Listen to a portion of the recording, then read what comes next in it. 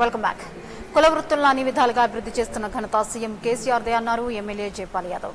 నాగర్ కర్నూలు జిల్లా కల్వకుర్తి మండలం రఘుపతిపేట గ్రామంలో రెండో విడత గొర్రెల పంపిణీ కార్యక్రమాన్ని నిర్వహించారు. ఈ కార్యక్రమంలో పాల్గొన్న ఆయన ఇరవై ఏడు మంది కురుమ యాదవ సోదరుల లబ్ధిదారులకు గొర్రెల యూనిట్లను పంపిణీ చేశారు.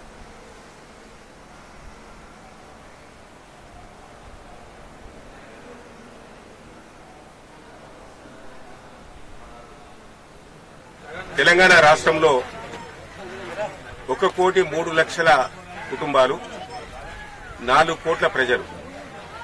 ఈ నాలుగు కోట్ల ప్రజల యొక్క బాధ్యత గాని నాలుగు కోట్ల ప్రజల యొక్క ఇవాళ పోషణ గాని నాలుగు కోట్ల ప్రజల యొక్క కంప్లీట్ మౌ- మౌలిక సదుపాయాలు గాని కనీస అవసరాలు గాని ఇలా కుటుంబ పెద్ద మన కేసీఆర్ గారు. నాలుగు కోట్ల కుటుంబ ప్రజల యొక్క కుటుంబాలకు అర్హులైనటువంటి అన్ని కుటుంబాలకు కూడా ప్రభుత్వం ద్వారా అన్ని పథకాలు అందించడం జరుగుతుంది.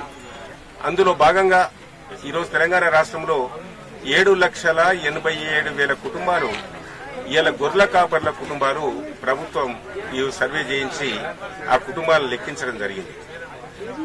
భారతదేశంలో ఏ రాష్ట్రంలో లేని విధంగా స్వయం సమృద్ధి సాధించాలని మాంసం ఉత్పత్తులు పెరగాలని చెప్పి ఆ విధంగా మన డబ్బు మనకే ఉండాలని చెప్పి సగం ఇంతకు ముందు మూడు లక్షల అరవై మూడు వేల కుటుంబాలకు ఈ గొర్రెల పంపిణీ కార్యక్రమాన్ని చేపట్టడం జరిగింది.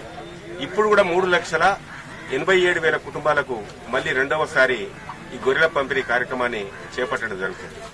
దీనివల్ల ఏంటంటే కుల వృత్తులు ఇంకా పెంచుకొని దాని ద్వారా ఆదాయం పెంచుకొని ఆర్థికంగా పరిపుష్టి చెంది కుటుంబాలను పోషించుకొని పిల్లలు చదివించుకొని సమాజంలో తల ఎత్తుకొని సగౌరవంగా జీవించే విధానంలో ఇది ఒక భాగం అనే విషయాన్ని ఈ సందర్భంగా తెలియజేస్తా ఈరోజు రఘుపతిపేటలో కూడా మనము ముప్పై యూనిట్లు ఈరోజు పంపిణీ చేయడం జరిగింది. ఈ ముప్పై యూనిట్ మన ప్రభుత్వం సంక్షేమ ప్రభుత్వం. ముఖ్యమంత్రి గారు భారతదేశంలో ప్రజాస్వామ్యయుతంగా పరిపాలన చేస్తారు. ఏ రాష్ట్రంలో ఇలాంటి పథకాలు లేవు ఇలాంటి కార్యక్రమాలు లేవు. కాబట్టి ఇలా కేంద్రంలో ఉన్నటువంటి ప్రభుత్వం కూడా మాకు సంపూర్ణంగా సహకరించి మా రాష్ట్రానికి రావాల్సిన బడ్జెట్ను వెంటనే విడుదల చేసి మేం ప్రవేశపెట్టిన పథకాలన్నీ కూడా